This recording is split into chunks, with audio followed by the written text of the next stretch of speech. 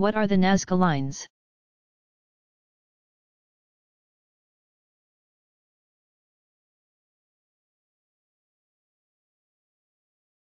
The Nazca lines are monumental geoglyphs carved lightly into the earth in southern Peru. And were made by the Nazca culture between around 400 and 600 C. E. The lines form symbolic shapes, including animals, and natural and geometric forms. Such as a hummingbird, monkey, lizard, a flower, tree, and a spiral and trapezoid.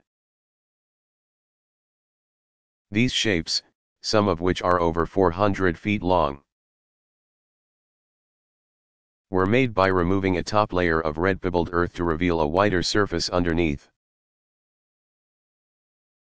Scholars wonder if the Nazca geoglyphs were depictions of constellations, or in some way linked to astronomy, but no conclusive connection has been found. It is possible the Nazca lines were an important part of religious ritual. Or were intended for a divine audience, as they are best seen from the air.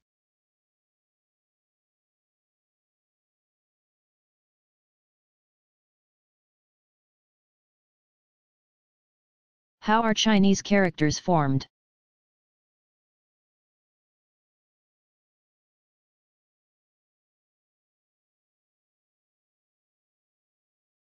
rather than referring to sounds like the English alphabet.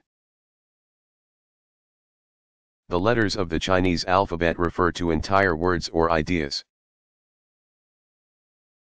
These are called characters, or calligraphs.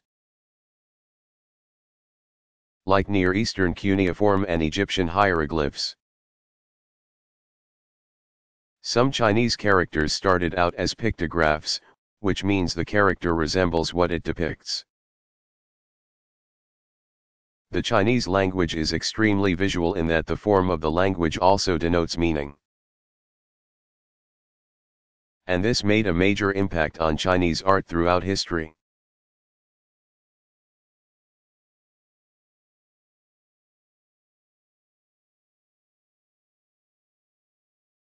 What was the purpose of Stonehenge?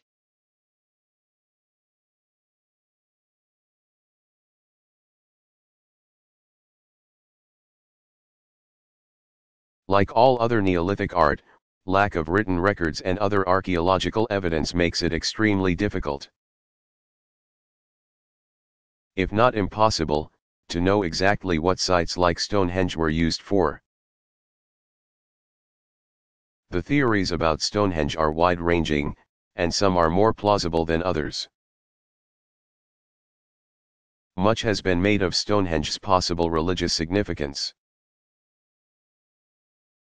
including the idea that it may have been used for human and animal sacrifices. And though cremated human remains have been found, this suggestion has fallen out of favor. A complete skeleton was unearthed at Stonehenge. It was the body of a man who had been shot through the chest with arrows. While this discovery does indicate violence, it does not necessarily suggest religious sacrifice. Some scholars, particularly a core group of astronomers, believe the purpose of Stonehenge is technological. They think the site served as a Neolithic observatory and was used to track the movements of the sun an important function in a society reliant upon agriculture to survive. While Stonehenge is aligned to the summer solstice, this theory is also hotly debated.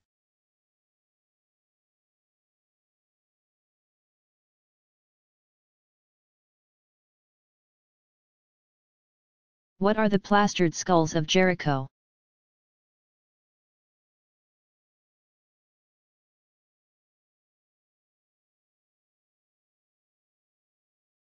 the people of Neolithic Jericho buried their dead under the floors of their houses in a practice interpreted as a form of ancestor worship. while complete bodies were often buried. Sometimes the head was removed and carefully reconstructed using colored plaster. Red and black paint was used to mimic facial features and shells. Such as cowries, were used to create white eyes.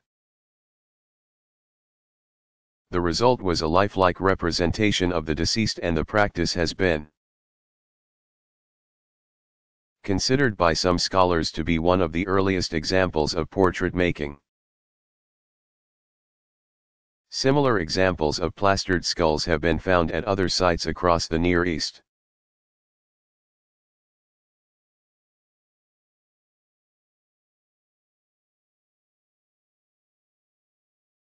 Is the Venus de Milo an example of ideal beauty and poise from the classical period? Or was she made during the more garish and later Hellenistic period?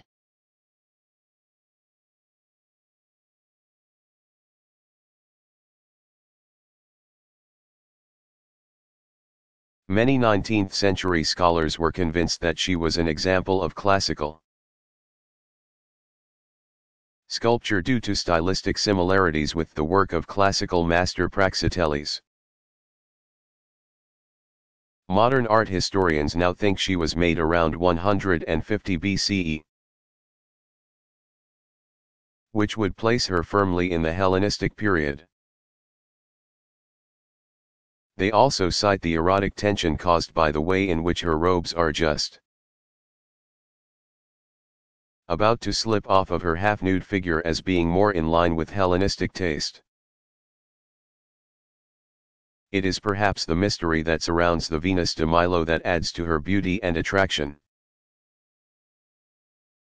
One might wonder if she would be half as engaging with both of her arms completely intact.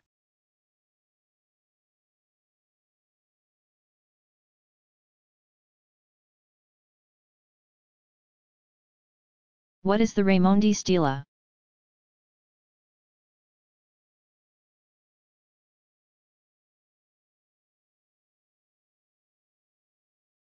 The Raimondi stela depicts a human-like jaguar deity and is an example of Chavín-style art from the Peruvian Andes in South America. The Chavín culture, considered a mother culture to later Peru, developed between 1500 and 300 BCE. And Chavín-style art emphasized complex abstract patterns and featured animals such as jaguars and eagles. The jaguar creature carved on the Raimondi stela is known as the staff god.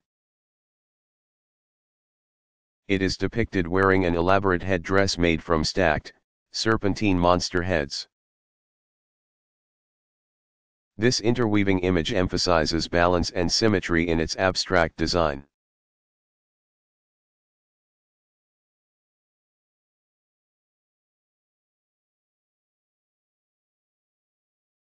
What is Neolithic art?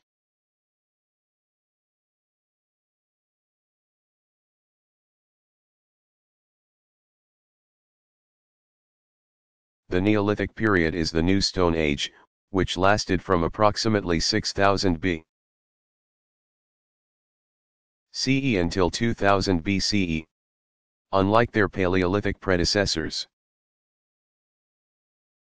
Neolithic people were settled rather than migratory, domesticating plants and animals for the first time. The earliest evidence of Neolithic culture has been found in the Near East including the modern-day countries of Jordan, Syria, and Turkey. Examples of Neolithic art include clay pottery and monumental stone monuments.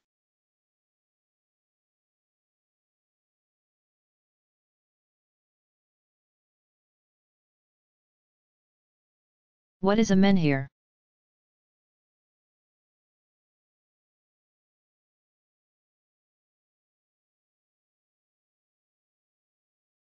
In the Celtic language, men means stone and hir means long. A translation of menhir is therefore long stone. Menhirs were roughly shaped single stones likely of symbolic importance to the Neolithic people of Northern Europe who made them. An enormous arrangement of these stones, known as menhir alignments, was discovered at Carnac. In southern France. Likely made around 3000 BCE. The Neolithic people of the area placed thousands of heavy menhirs in a series of rows nearly 4,000 feet long. The exact purpose of the menhir alignments at Carnac remains a mystery.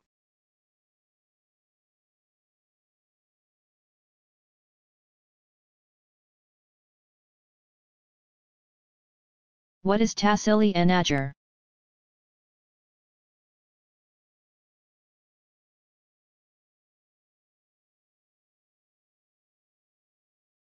Tassili n'Ajjer is an approximately 7,000-year-old in southeastern Algeria with thousands of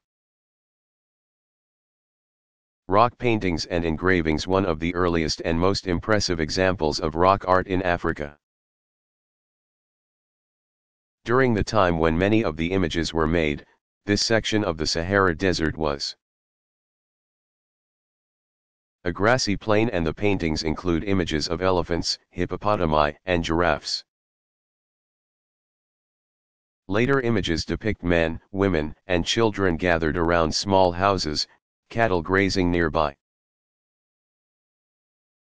As the Sahara dried over thousands of years, new animals appear in the rock art. Such as camels and horses introduced from nearby Egypt.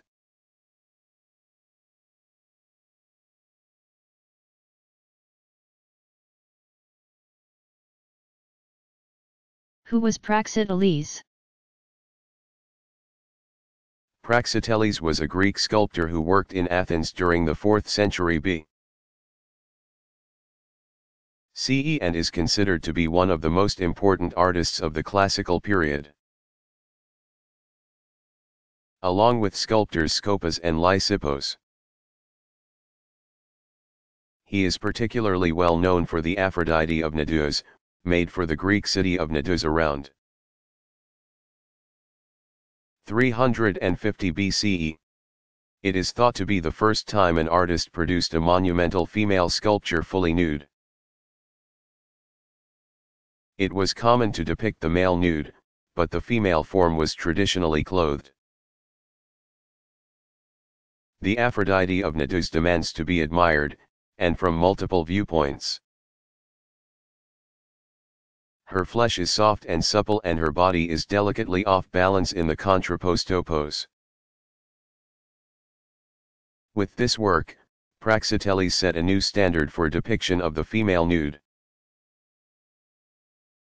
The work itself was so beautiful that the real goddess Aphrodite was said to have traveled to Cnidos and upon seeing the statue exclaimed, Where did Praxiteles see me naked?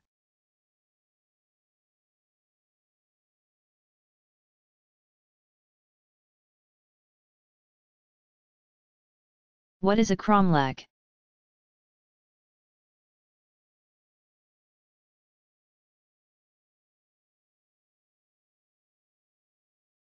Translated from Celtic. The word cromlech means circular place and refers to a circle of standing stones. Cromlechs are either circular or semicircular arrangements of megaliths. There are many theories about the function of these large-scale Neolithic sites. Including the idea that they served some kind of religious function. However, like the menhir alignments in France, cromlechs remain a mystery.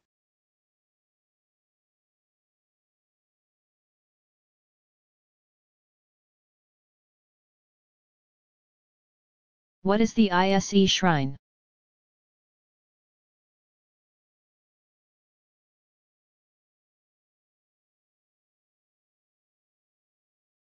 The Ise Shrine is an important Shinto complex in Japan dedicated to the goddess Amaterasu. Ancestor of the Japanese emperors.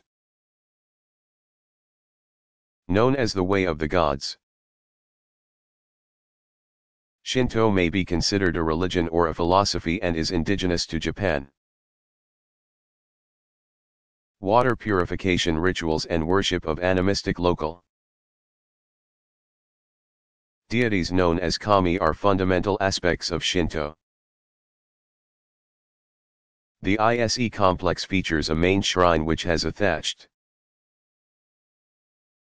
roof and is raised off the ground with wooden pilings. Made of unpainted cypress wood, the shrine style reflects natural simplicity. Historically, only members of the Japanese imperial family were allowed worship in ISE's interior sanctuary. Every 20 years, the main shrine is completely rebuilt on the site. An important political and religious ritual.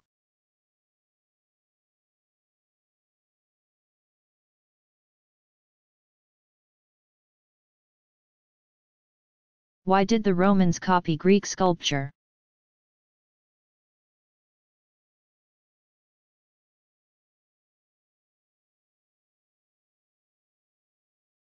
Much like today, a large art collection was an indication of wealth and status in ancient Rome. Greek art was held in high regard by the ever-expanding Romans who set about conquering the Mediterranean and coming home with art and treasure from across the land. Roman artists copied many marble and bronze statues in order to meet popular demand. Usually working in marble. Not all Roman sculptures were exact copies, however. Roman sculptors adapted Greek sculpture and updated it to match the tastes of the Roman art-buying public. All in all, we are lucky the Romans did so much copying. Many original Greek bronzes were long ago melted down, to make things such as weapons and armor. And therefore much of our knowledge of Greek art comes from Roman copies.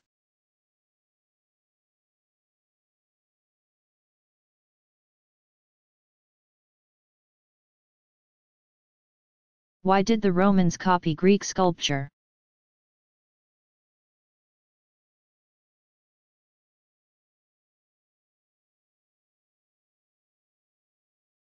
Much like today, a large art collection was an indication of wealth and status in ancient Rome. Greek art was held in high regard by the ever-expanding Romans who set about conquering the Mediterranean and coming home with art and treasure from across the land. Roman artists copied many marble and bronze statues in order to meet popular demand. Usually working in marble. Not all Roman sculptures were exact copies, however. Roman sculptors adapted Greek sculpture and updated it to match the tastes of the Roman art-buying public. All in all, we are lucky the Romans did so much copying. Many original Greek bronzes were long ago melted down, to make things such as weapons and armor. And therefore much of our knowledge of Greek art comes from Roman copies.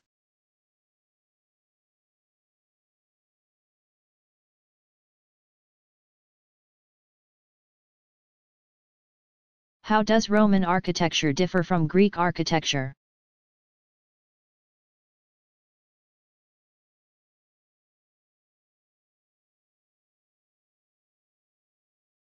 Greek and Roman architecture are together referred to as classical architecture. As they share many characteristics including an adherence to the classical Greek orders of architecture and a sense of symmetry and balance. But, there are some key differences. Whereas the Greeks favored marble, the Romans invented concrete. And they relied on this key building material in much of their architecture. Romans also emphasized circular forms and made extensive use of the arch, vault, and dome in their building projects, unlike the post and lintel structure of Greek buildings. While Greek buildings tended to feature cramped interiors built on a more human scale. Roman buildings had dramatically high ceilings and were generally more flamboyant than their Greek counterparts.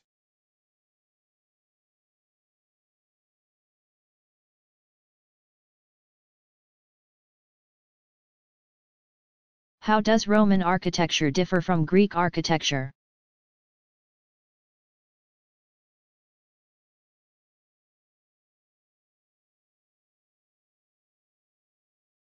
Greek and Roman architecture are together referred to as classical architecture.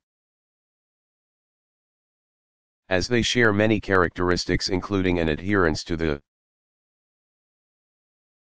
classical Greek orders of architecture and a sense of symmetry and balance. But, there are some key differences. Whereas the Greeks favored marble, the Romans invented concrete.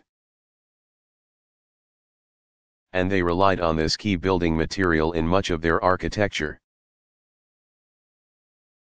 Romans also emphasized circular forms and made extensive use of the arch, vault, and dome in their building projects, unlike the post and lintel structure of Greek buildings. While Greek buildings tended to feature cramped interiors built on a more human scale.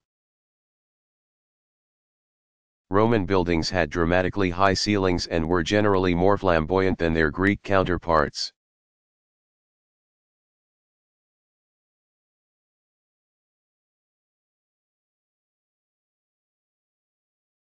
What is the Pantheon?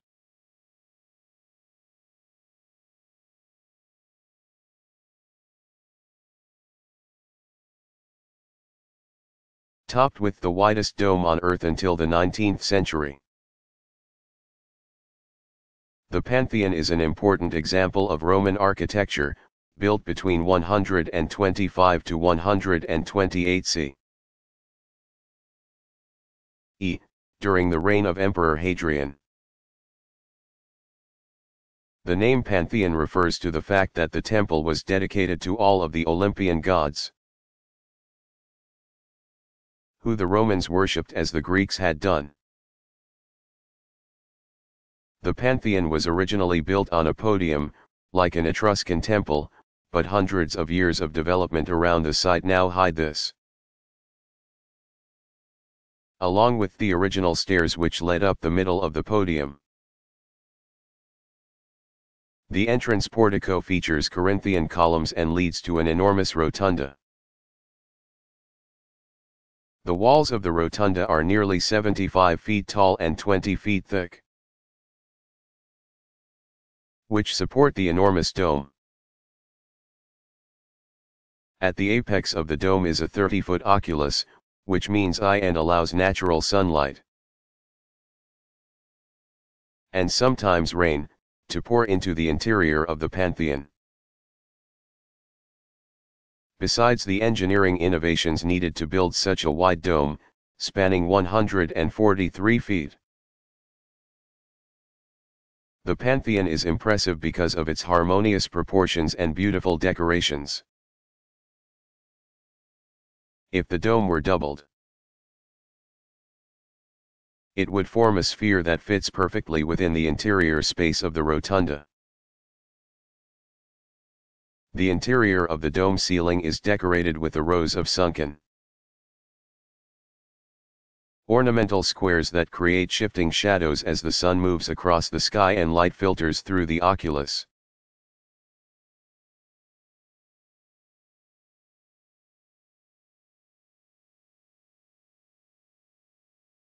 What is the Pantheon?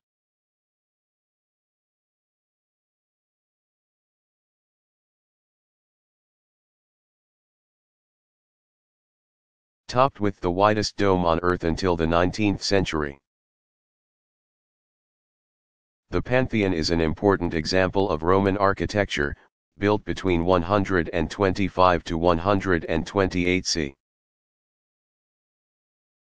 e. during the reign of Emperor Hadrian.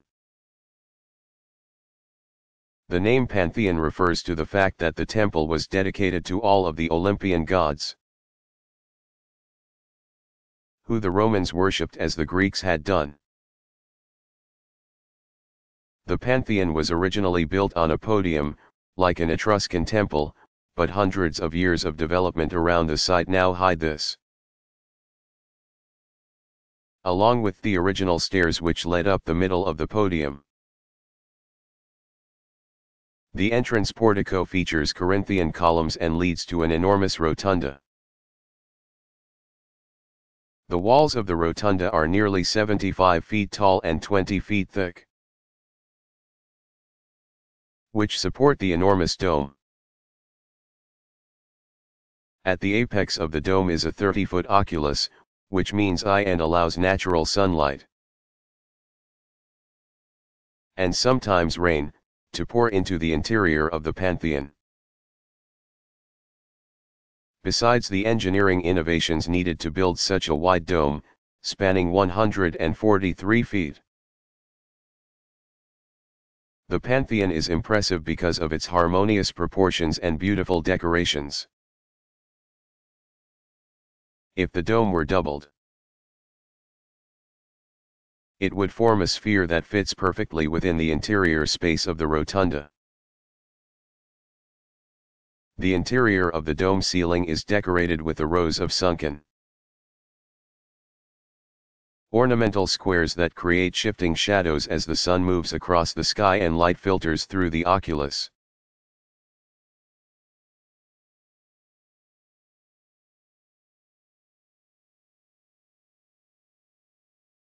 What is the Colosseum?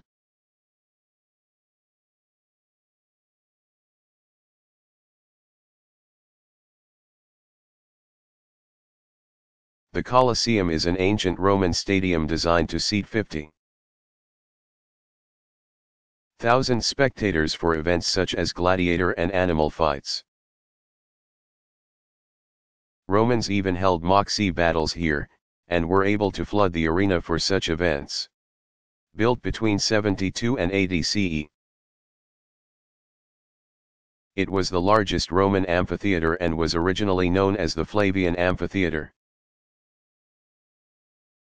The original central arena was nearly 30,000 square feet. And the whole structure is more than 600 feet in diameter. The facade of the building was made of three levels of 80 arch arcades. A row of arches, plus an attic level, and supported six tiers of seats. Under the seats, barrel vaulted corridors allowed for the passage of athletes and animals. Each of the three arcade levels is decorated according to a different architectural order, which become more complex as the building rises. The first floor utilizes the simple Tuscan order. While the second and third floor incorporate elements from the Ionic and Corinthian order, respectively. The exterior had been faced with travertine, but this relatively expensive material has since been looted.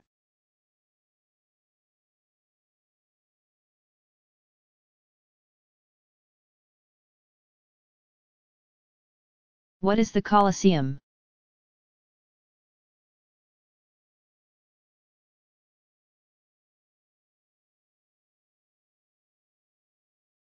The Colosseum is an ancient Roman stadium designed to seat 50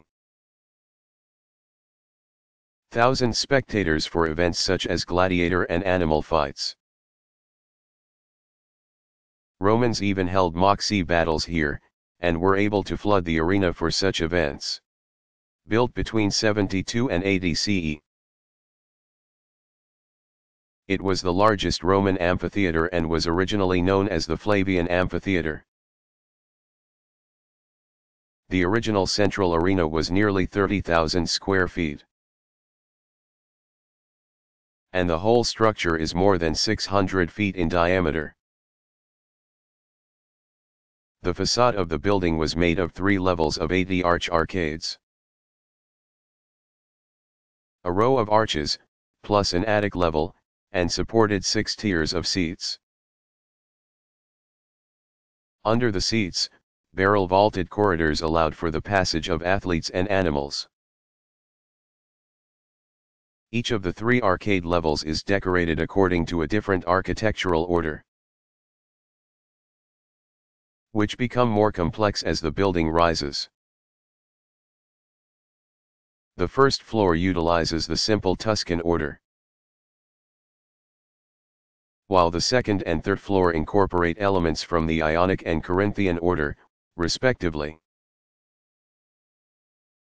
The exterior had been faced with travertine, but this relatively expensive material has since been looted.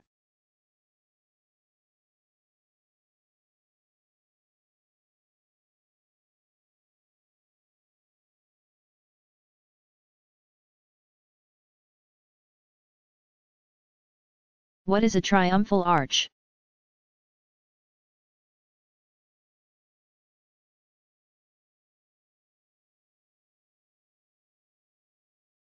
A triumphal arch is a large monumental structure in the shape of a freestanding arched passageway. They were used in ancient Rome to commemorate great military victories. The Arch of Titus, c. 81 CE, and the Arch of Constantine, 312 to 315 CE, are two of the most famous examples of triumphal arches in Rome. Over 50 feet tall and made of marble and concrete. The Arch of Titus was constructed after Emperor Titus conquered the city of Jerusalem. Relief carvings on the interior of the structure show Roman soldiers proudly carrying home the spoils of war. Including a menorah taken from the Temple of Solomon. Built almost 300 years later, the Arch of Constantine celebrates Emperor Constantine's defeat of Maxentius at the Battle of Milvian Bridge. The event is important in Christian history as Constantine was said to have had a vision of a cross and heard the words. In this sign you shall conquer just before battle. Constantine's mother, Helen, was Christian. And Constantine ended legal persecutions of Christians in Rome in the Edict of Milan. The Arch of Constantine was made of partly recycled material, and incorporated relief decoration. From monuments dedicated to earlier rulers such as Marcus Aurelius, Trajan, and Hadrian. Triumphal arches continue to be used to mark important historic events and can be found in cities such as Paris, New York, and Moscow.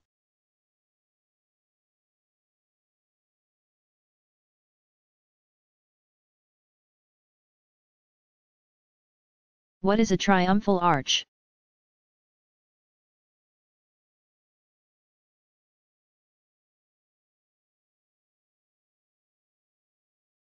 A triumphal arch is a large monumental structure in the shape of a freestanding arched passageway. They were used in ancient Rome to commemorate great military victories. The Arch of Titus, c. 81 CE and the Arch of Constantine, 312 to 315 CE, are two of the most famous examples of triumphal arches in Rome. Over 50 feet tall and made of marble and concrete. The Arch of Titus was constructed after Emperor Titus conquered the city of Jerusalem.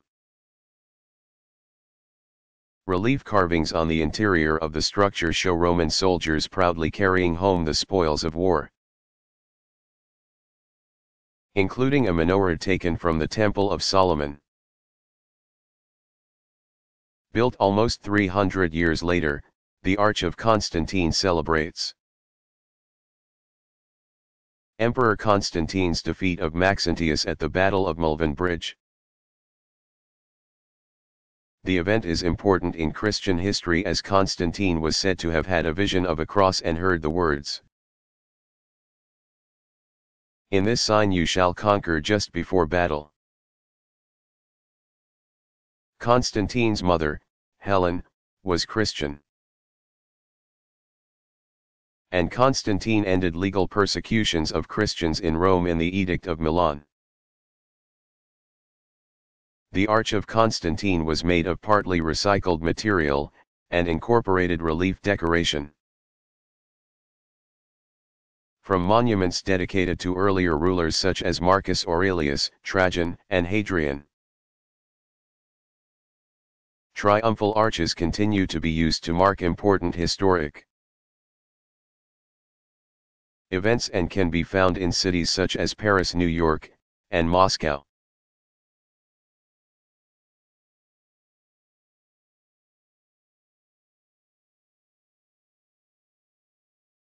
What is the orator?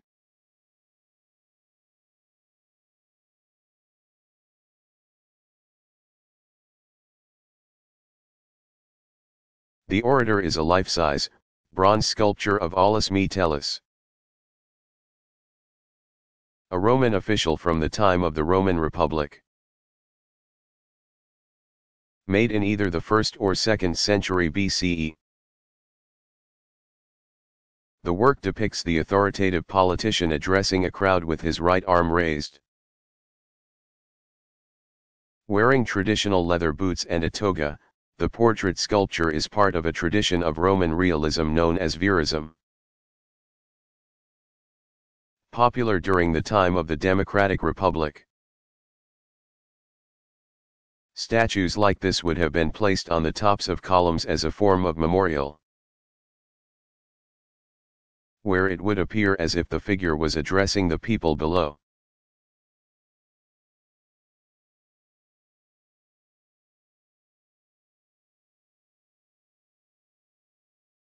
What is the orator?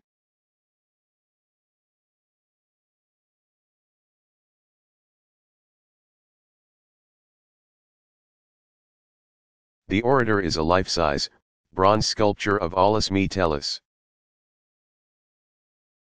A Roman official from the time of the Roman Republic. Made in either the 1st or 2nd century BCE. The work depicts the authoritative politician addressing a crowd with his right arm raised. Wearing traditional leather boots and a toga, the portrait sculpture is part of a tradition of Roman realism known as Verism. Popular during the time of the Democratic Republic. Statues like this would have been placed on the tops of columns as a form of memorial. Where it would appear as if the figure was addressing the people below.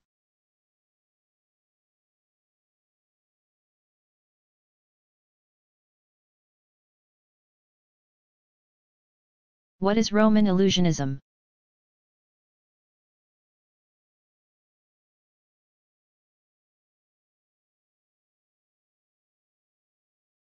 The ancient Romans were known for their beautiful paintings, which they used to decorate the interiors of domestic residences.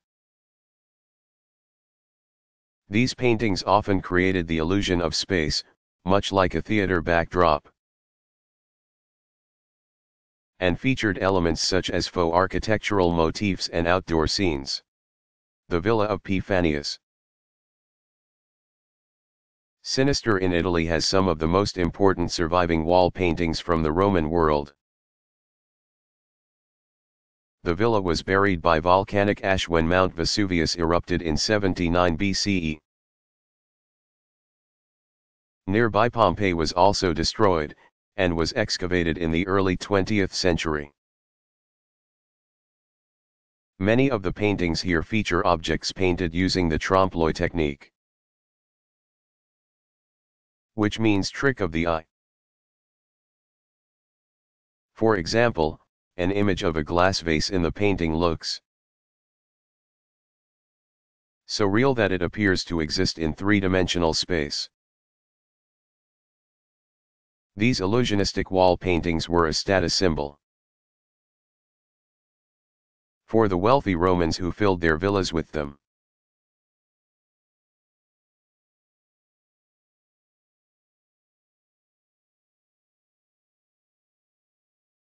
What is Roman illusionism?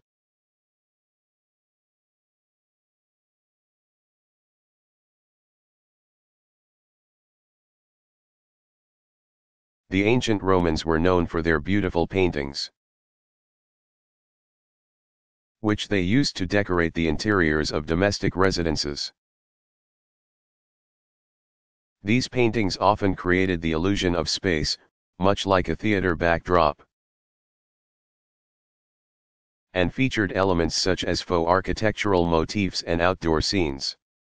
The Villa of P. Fannius Synistor in Italy has some of the most important surviving wall paintings from the Roman world. The villa was buried by volcanic ash when Mount Vesuvius erupted in 79 BCE. Nearby Pompeii was also destroyed, and was excavated in the early 20th century. Many of the paintings here feature objects painted using the trompe-l'oeil technique which means trick of the eye. For example, an image of a glass vase in the painting looks so real that it appears to exist in three-dimensional space. These illusionistic wall paintings were a status symbol.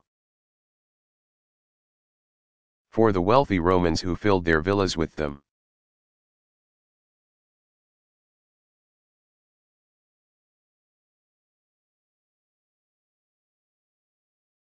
How did Romans make their mosaics?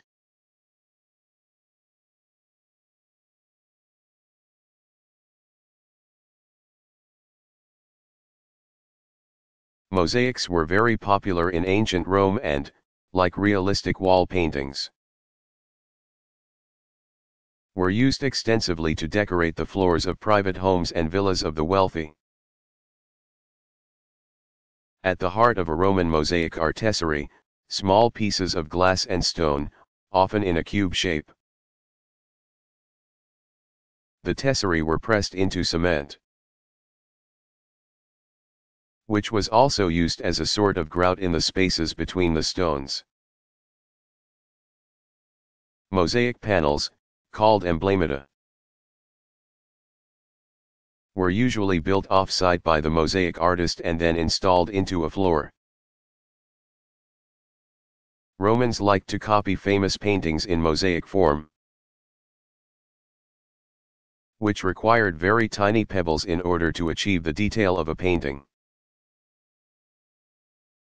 A number of lost Greek paintings still exist in a Roman mosaic form.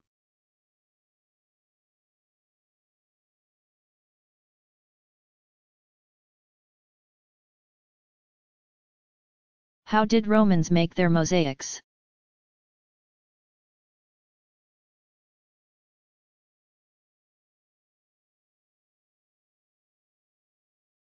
Mosaics were very popular in ancient Rome and, like realistic wall paintings,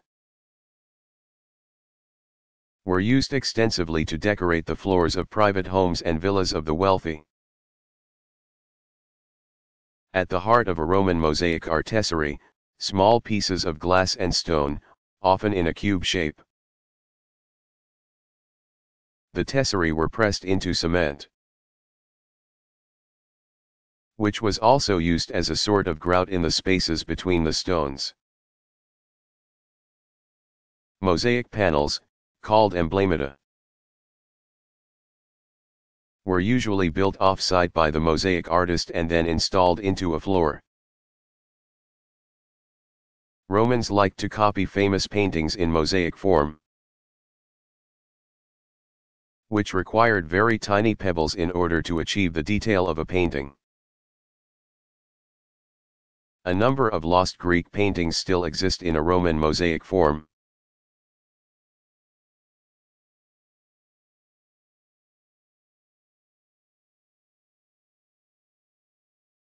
What is the classical pantheon?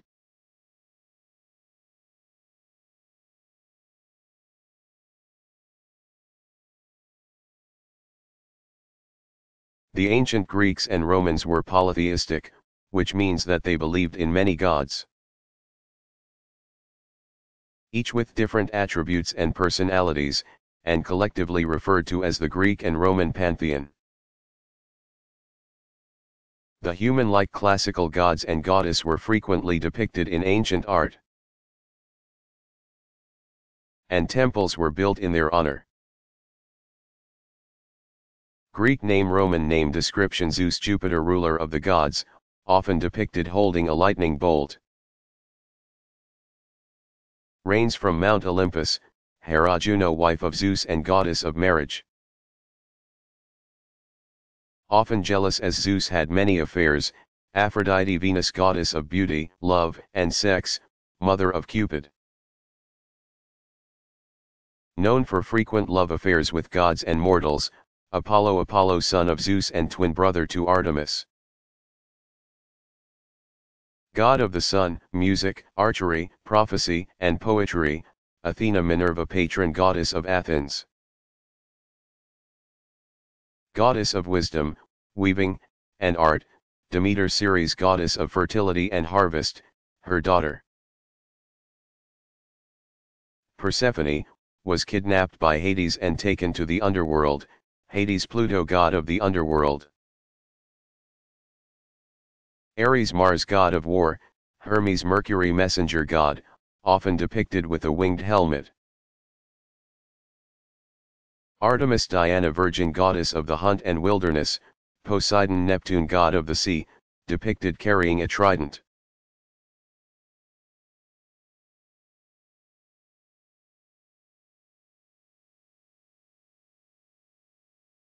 What is the classical pantheon?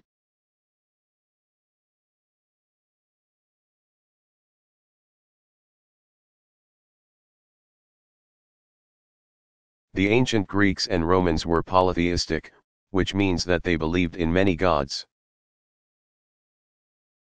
Each with different attributes and personalities, and collectively referred to as the Greek and Roman pantheon. The human-like classical gods and goddess were frequently depicted in ancient art. And temples were built in their honor. Greek name Roman name description Zeus Jupiter ruler of the gods, often depicted holding a lightning bolt. Reigns from Mount Olympus, Hera Juno wife of Zeus and goddess of marriage. Often jealous as Zeus had many affairs, Aphrodite Venus goddess of beauty, love, and sex, mother of Cupid. Known for frequent love affairs with gods and mortals, Apollo Apollo son of Zeus and twin brother to Artemis. God of the sun, music, archery, prophecy, and poetry, Athena Minerva patron goddess of Athens. Goddess of wisdom, weaving, and art, Demeter Ceres goddess of fertility and harvest, her daughter. Persephone, was kidnapped by Hades and taken to the underworld, Hades Pluto god of the underworld. Ares Mars god of war, Hermes Mercury messenger god, often depicted with a winged helmet. Artemis Diana virgin goddess of the hunt and wilderness, Poseidon Neptune god of the sea, depicted carrying a trident.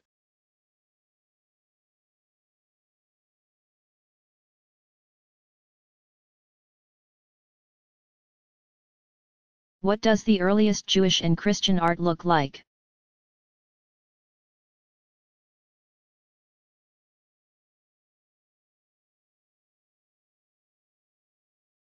Most of the earliest Jewish and Christian art dates from the Hellenistic period and takes its cues from Near Eastern and Classical, Greek and Roman, art. Early Jewish artists were forbidden from making any form that could be worshipped as an idol. And therefore avoided representational art. Early Christian art drew its symbols from Jewish tradition as well as classical tradition. A common subject in early Christian art, for example, is the Good Shepherd. In the classical tradition, the Good Shepherd represents the mythological figure. Orpheus, who is shown holding a sheep around his shoulders. Early Christian artists used this as a model for early images of Christ in both sculptural and painted form. Referring to Psalm 23 which states, The Lord is my shepherd, there is nothing I lack, Psalm 23 1. This is an example of syncretism, an art historical term which refers to the merging of meaning and imagery between different cultures and religions.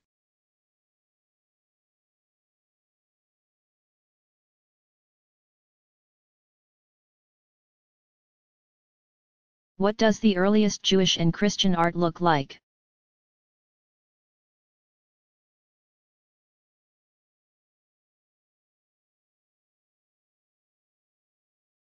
Most of the earliest Jewish and Christian art dates from the Hellenistic period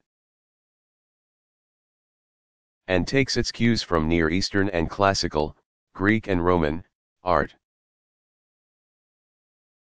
Early Jewish artists were forbidden from making any form that could be worshipped as an idol. And therefore avoided representational art. Early Christian art drew its symbols from Jewish tradition as well as classical tradition. A common subject in early Christian art, for example, is the Good Shepherd. In the classical tradition, the Good Shepherd represents the mythological figure.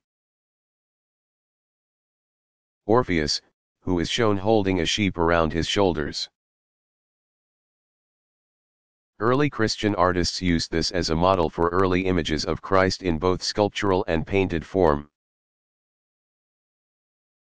Referring to Psalm 23 which states, The Lord is my shepherd, there is nothing I lack, Psalm 23 1.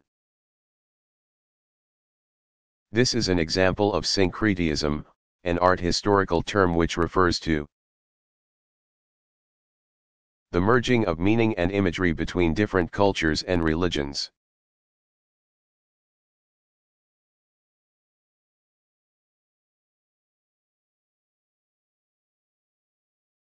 What are important symbols in Jewish iconography?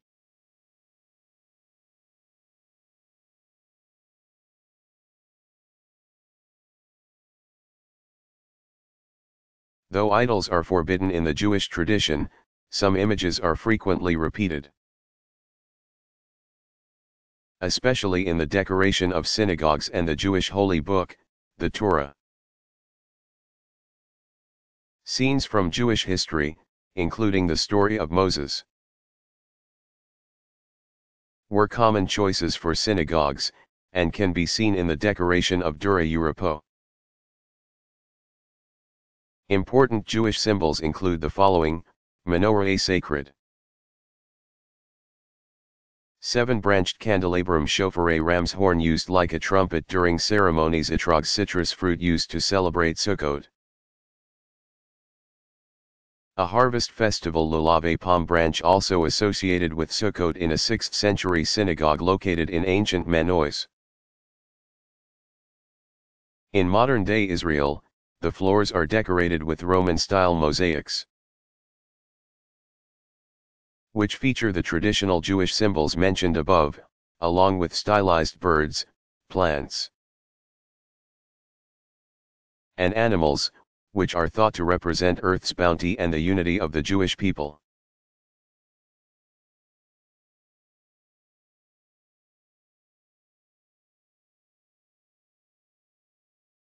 What are important symbols in Jewish iconography?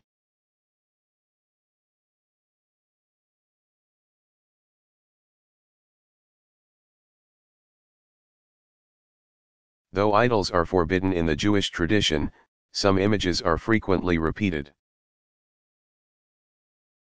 Especially in the decoration of synagogues and the Jewish holy book, the Torah. Scenes from Jewish history, including the story of Moses, were common choices for synagogues, and can be seen in the decoration of Dura Europos. Important Jewish symbols include the following, Menorah sacred. Seven-branched candelabrum shofar a ram's horn used like a trumpet during ceremonies etrog citrus fruit used to celebrate Sukkot. A harvest festival lulav a palm branch also associated with Sukkot in a 6th century synagogue located in ancient Manois. In modern-day Israel, the floors are decorated with Roman-style mosaics, which feature the traditional Jewish symbols mentioned above, along with stylized birds, plants, and animals, which are thought to represent Earth's bounty and the unity of the Jewish people.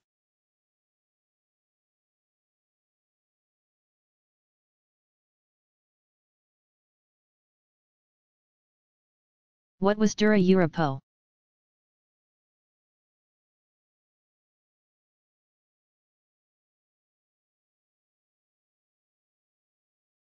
Dura Europos was an ancient trading town established in the 3rd century B. CE and abandoned by 256 CE in modern-day Syria. After being long forgotten. The settlement was rediscovered by British soldiers in the early 20th century. The site features Greco-Roman temples dedicated to Greek gods such as Zeus and Artemis. As well as temples decorated with images of ancient Near Eastern deities such as the Persian god Mithras, and a variation on the Sumerian moon goddess, Nanna. Also found here was one of the earliest known Jewish synagogues and a Christian house church. Both early Christians and early Jews built their churches and synagogues in private houses. The Dura Europos synagogue was large and richly decorated with interior wall paintings. Emphasizing green and yellow color schemes, and featured a niche for Torah scrolls.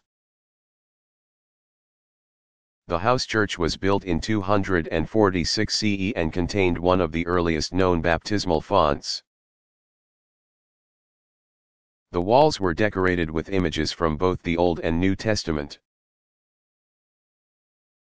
Including an image of Christ walking on water.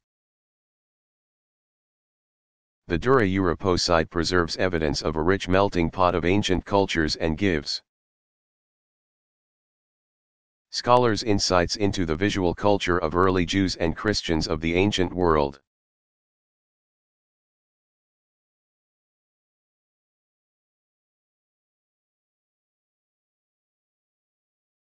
What was Dura Europos?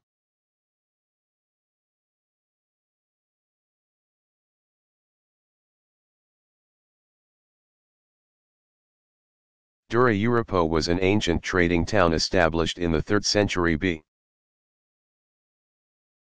CE and abandoned by 256 CE in modern-day Syria. After being long forgotten.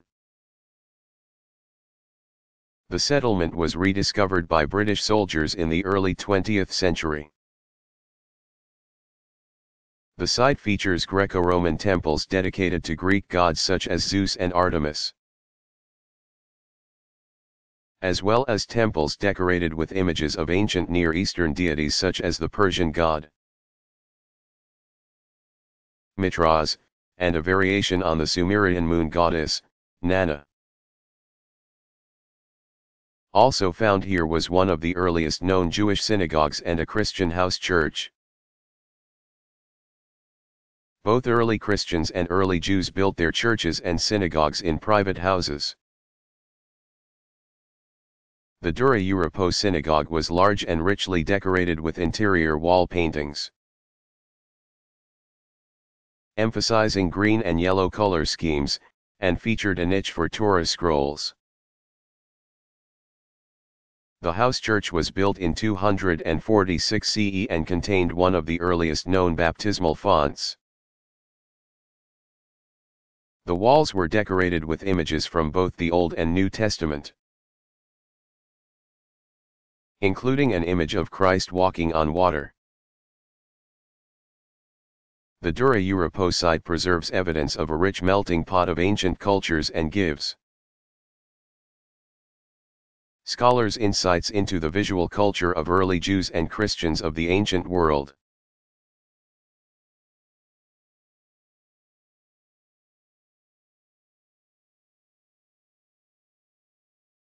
What is the ionic order?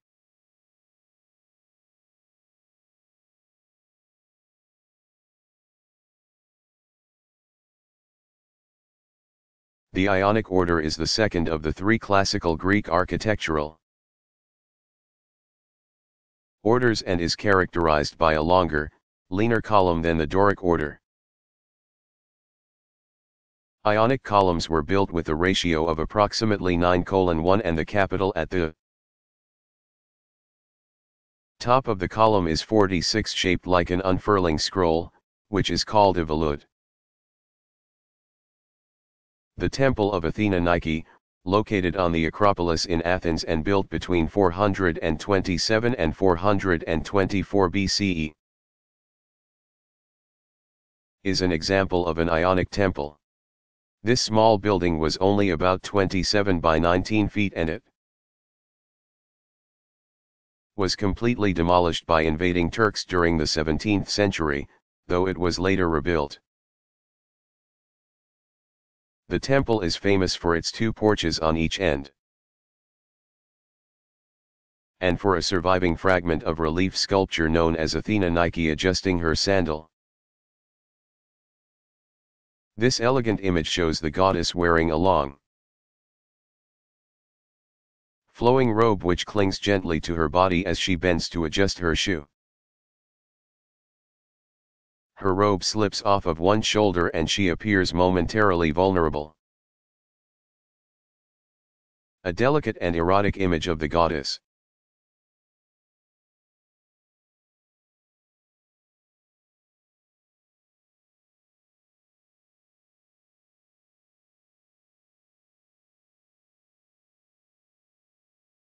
How did Romans make their mosaics?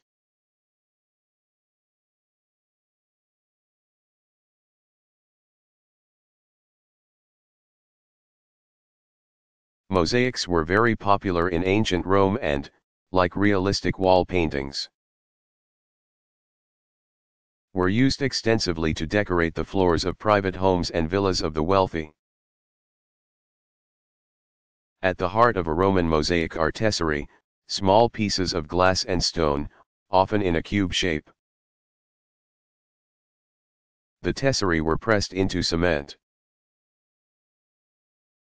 which was also used as a sort of grout in the spaces between the stones.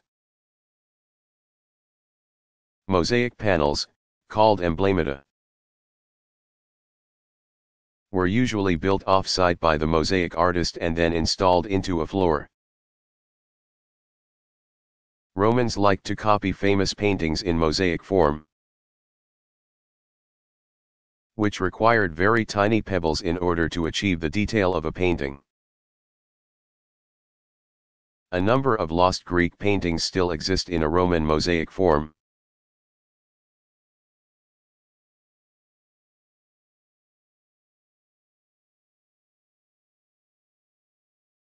What is the classical pantheon?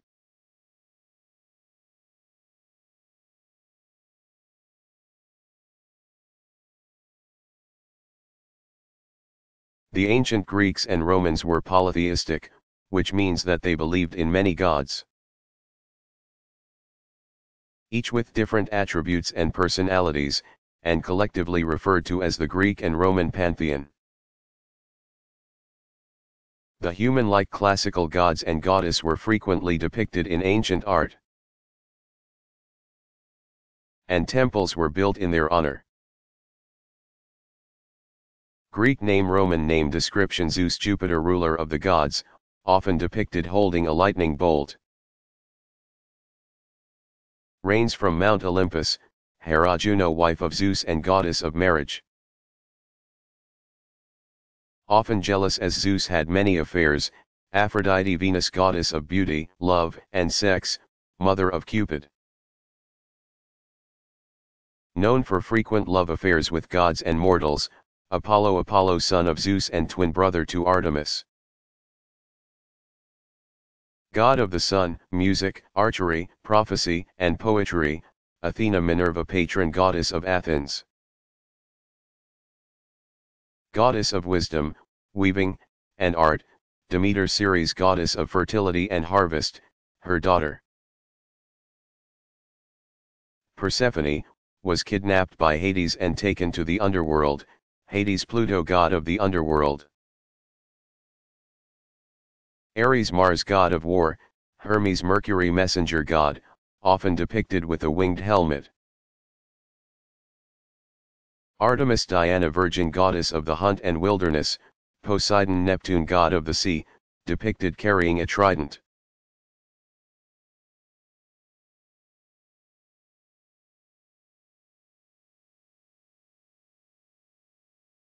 How does Roman architecture differ from Greek architecture?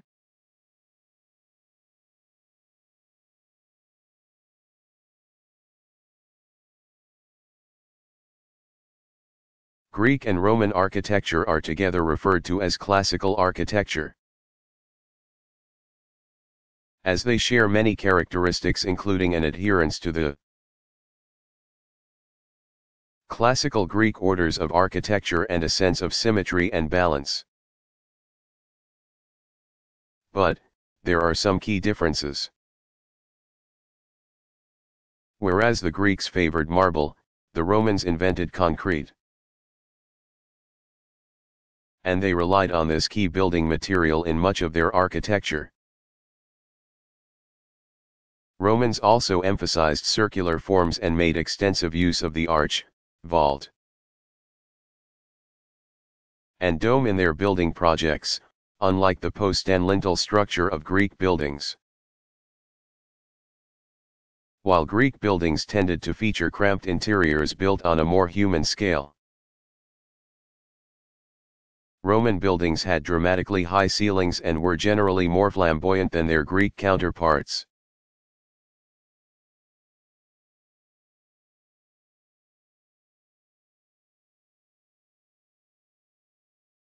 What is Cycladic sculpture?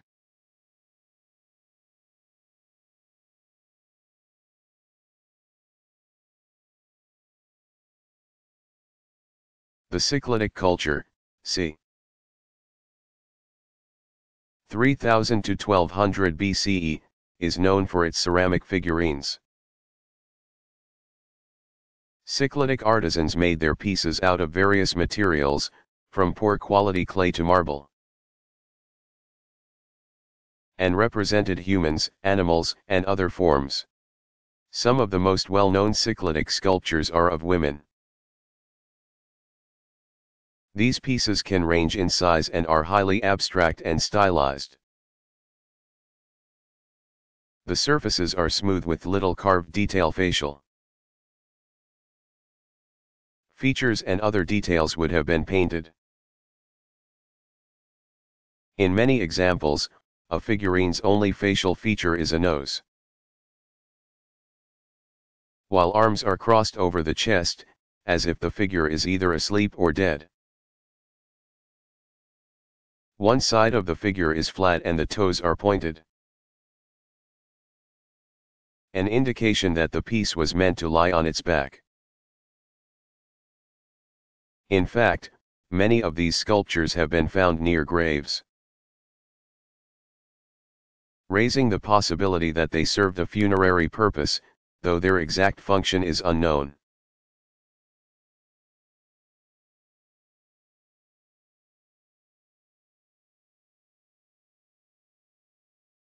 What is the archaic smile?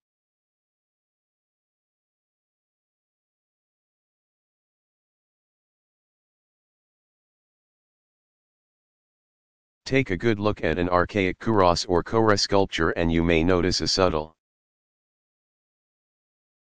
yet light-hearted smile playing on its lips. The close-lipped archaic smile gives cold stone sculptures a sense of warmth and life. Over 6 feet tall, the Berlin Kore, 570 to 560 BCE, has remnants of red paint and depicts a poised, column-like woman. Her robes fall rigidly and the folds in the fabric look almost like the fluting of a Doric column. She also holds a pomegranate, which therefore links her to the mythological deity Persephone who was abducted by Hades and taken to the underworld as his wife. Contrasting the otherwise stoic austerity of the work. The Berlin Kore features a warm archaic smile, which brings her to life.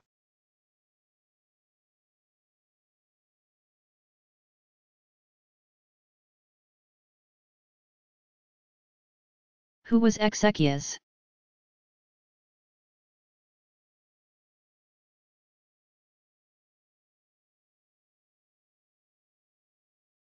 Greek vases from the classical period feature some of the most impressive paintings in the ancient world. And Exekias is considered to be one of the greatest vase painters of the time. Living in Athens during the 6th century BCE, Exekias painted in what is known as the black figure style, which places black figures on a red background his work is noted for its grace and sense of order. One of his most famous pieces depicts Achilles and Ajax playing drafts. From c. 530 BCE. The scene takes place during a break in fighting during the Trojan War when the mythological warriors pause to play a game of ancient checkers. The scene is very symmetrical and the arrangement of figures takes into account the swelling form of the vase itself. Exekias not only painted the vase, but he was also the potter. A signature on the piece reads, Exekias painted me and made me.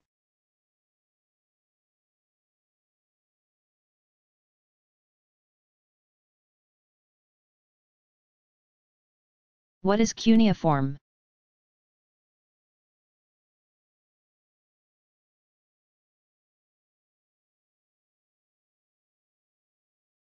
Cuneiform is the first system of written language, invented by the Sumerians around 3100 B. CE, it was originally pictographic. This means, for example, that a bull's head, would represent a bull. Over time, cuneiform evolved into a more abstract system of signs consisting of wedge-shaped lines pressed into clay tablets with a pointed tool called a stylus. Cuneiform was used to keep track of business records in cities like Uruk, in modern-day Iraq. Cuneiform tablets have withstood the test of time and offer scholars a wonderful window into the culture of the ancient Near East.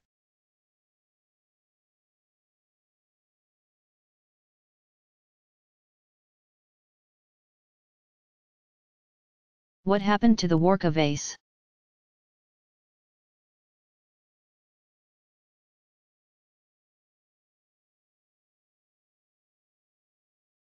In April of 2003, the Warka Vase was stolen from the Iraq Museum in Baghdad. During the civil unrest that followed the U.S. invasion of the country. It was a devastating loss for art history, and especially the people of Iraq. For whom the vase represents an important part of their cultural heritage. Fortunately, the vase was returned a few months later, though it was badly damaged.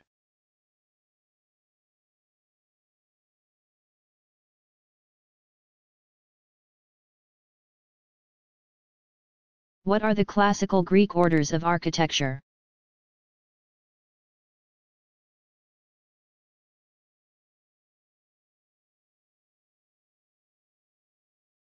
Greek architects followed fairly strict conventions when designing temples in an attempt to produce a balanced and unified look, an aesthetic valued by the Greeks. The three main orders, or patterns of temple building design are, Doric, Ionic, and Corinthian. Referred to as the classical Greek orders of architecture. These systems of proportion and style made a profound impact on the history of architecture and continue to be incorporated into building design to this day.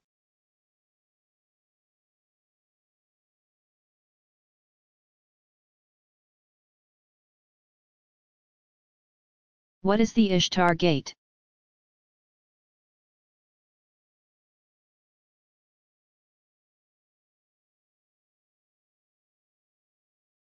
The Ishtar Gate was a Neo-Babylonian, double-arched gateway with four towers. Each featuring notched walls known as crenellations. The Ishtar Gate was originally over 40 feet tall, and the towers rose to nearly 100 feet. The deep blue brick structure was decorated with stylized lions and palm trees an impressive fortification indeed. The monumental gate mirrored the wealth and extravagance of other Babylonian structures such as the Hanging Gardens, which was one of the seven wonders of the ancient world. A reconstruction of the Ishtar Gate has been installed in a museum in Berlin, Germany.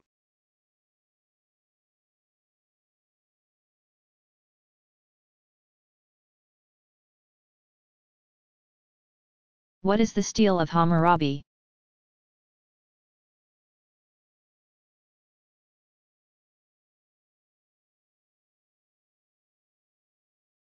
Hammurabi was a Babylonian king who ruled over the lands of Mesopotamia during the second millennium B. CE. He is famous for his code of laws, the earliest known legal code. The code itself is carved into a 7-foot stele, a large slab of black diorite and in it Hammurabi declares that his code will cause justice to prevail in the land and to destroy the wicked and the evil. That the strong might not oppress the weak nor the weak the strong, as quoted in Stokstad 38. At the top of the stele, above the written code,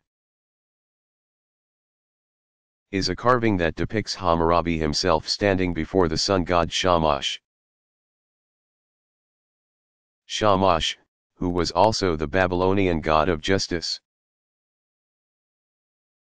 is seated in his throne and is surrounded by symbols of power.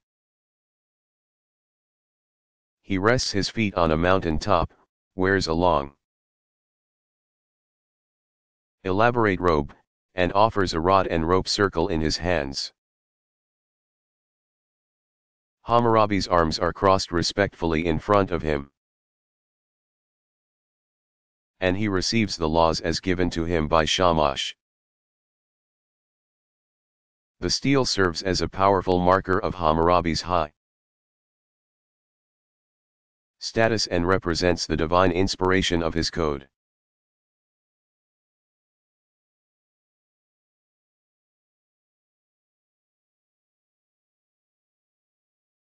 What is a kouros?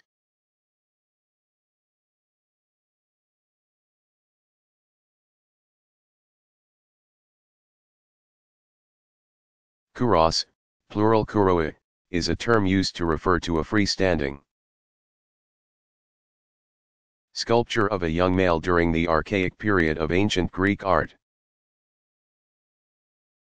A female equivalent is known as a kore, plural kore. These statues were usually life-size and influenced by Egyptian sculpture.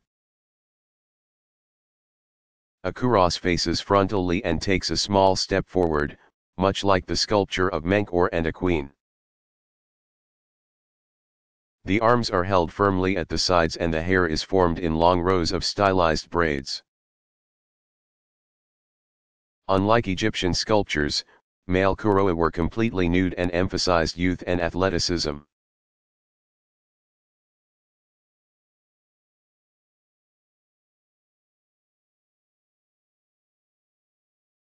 What does the earliest Jewish and Christian art look like?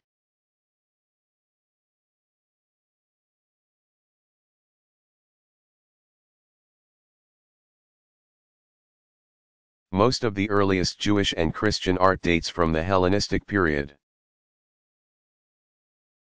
and takes its cues from Near Eastern and Classical, Greek and Roman, art. Early Jewish artists were forbidden from making any form that could be worshipped as an idol. And therefore avoided representational art. Early Christian art drew its symbols from Jewish tradition as well as classical tradition. A common subject in early Christian art, for example, is the Good Shepherd. In the classical tradition, the Good Shepherd represents the mythological figure. Orpheus, who is shown holding a sheep around his shoulders. Early Christian artists used this as a model for early images of Christ in both sculptural and painted form.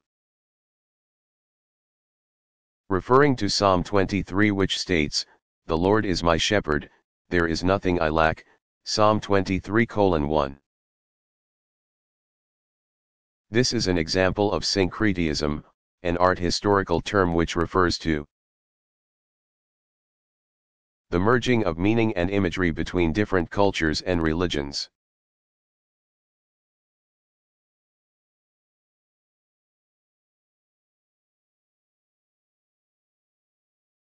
What is Hinduism?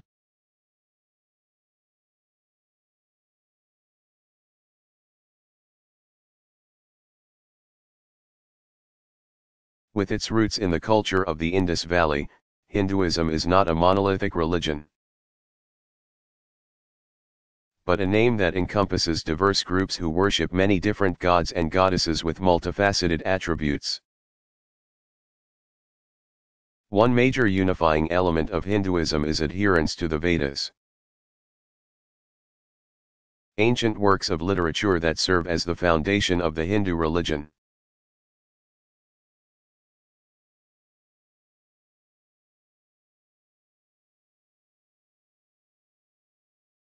What is a ziggurat?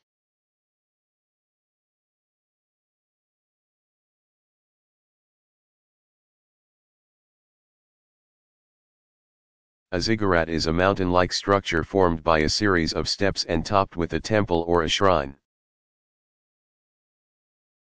Placing shrines and temples at a higher elevation served both practical and religious purposes.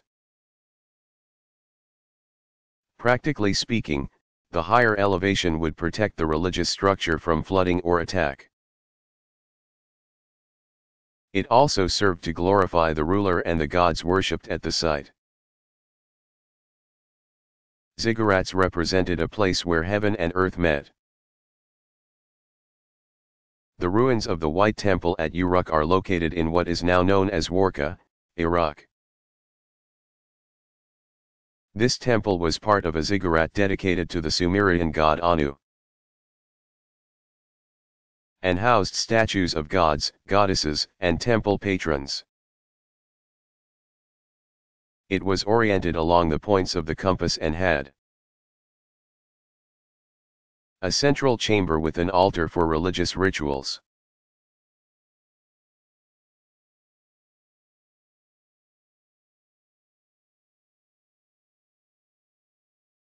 Why did the Romans copy Greek sculpture?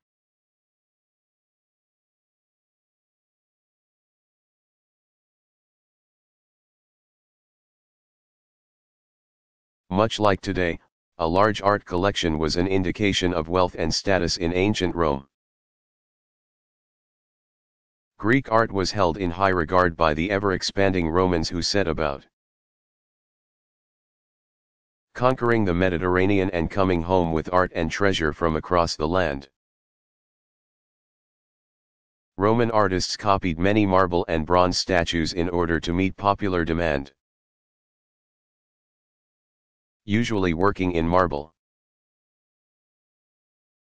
Not all Roman sculptures were exact copies, however. Roman sculptors adapted Greek sculpture and updated it to match the tastes of the Roman art-buying public. All in all, we are lucky the Romans did so much copying. Many original Greek bronzes were long ago melted down, to make things such as weapons and armor. And therefore much of our knowledge of Greek art comes from Roman copies.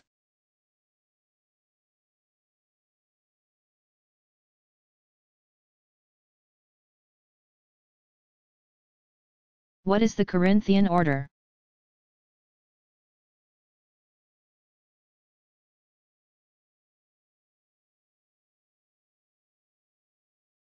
The Corinthian order was the last of the three classical Greek orders of architecture to develop.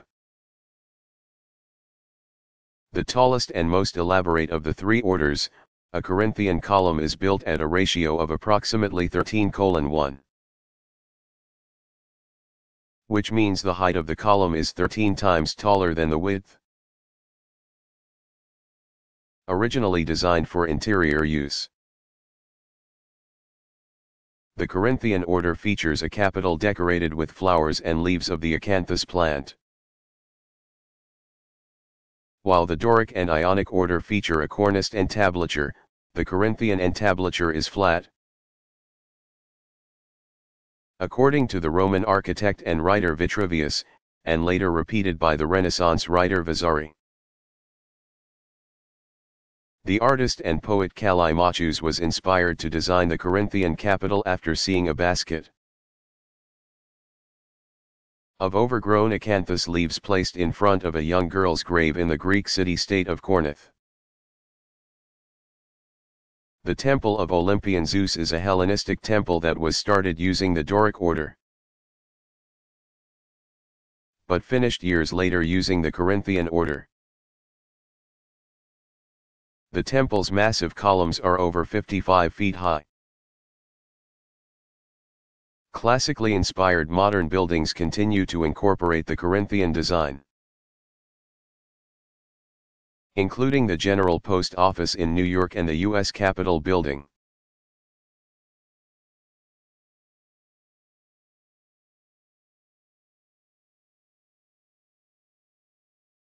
What is the Colosseum?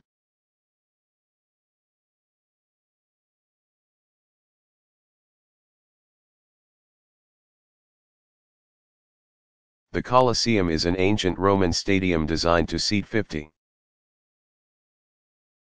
thousand spectators for events such as gladiator and animal fights. Romans even held mock sea battles here, and were able to flood the arena for such events. Built between 72 and 80 CE.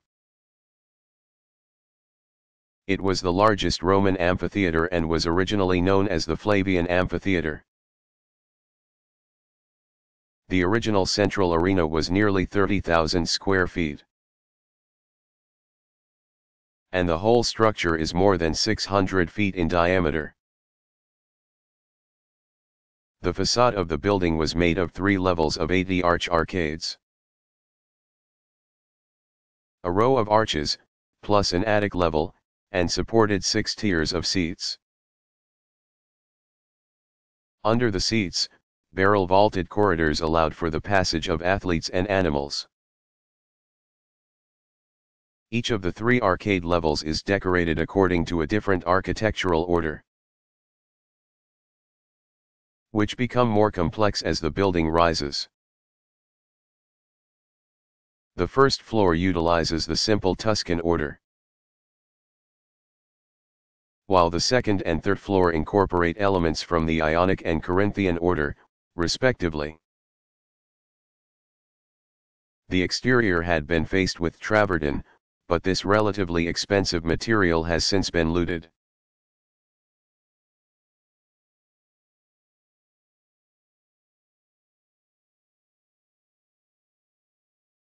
What are important symbols in Jewish iconography?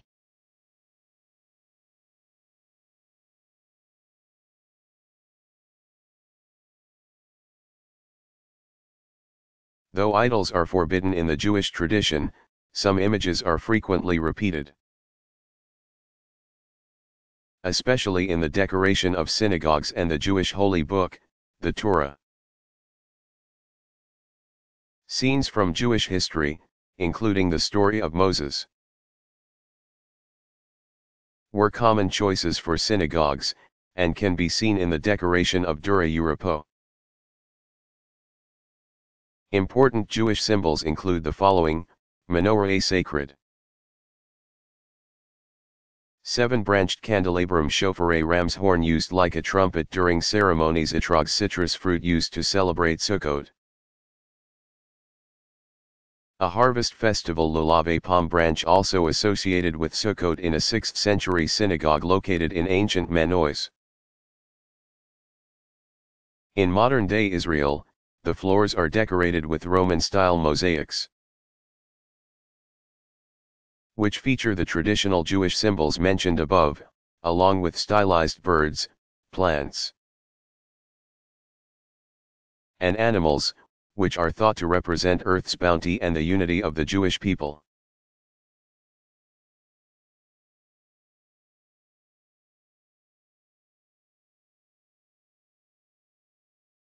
What is the Warka vase?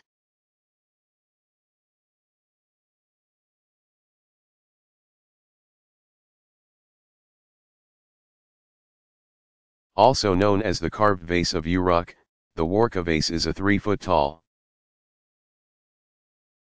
alabaster vase found by archaeologists near the White Temple. The vase is decorated with stories that have been divided into registers, or bands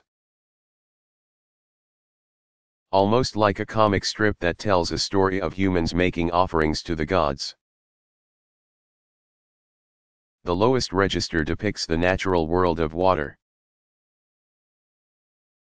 and plants while above this are domesticated animals.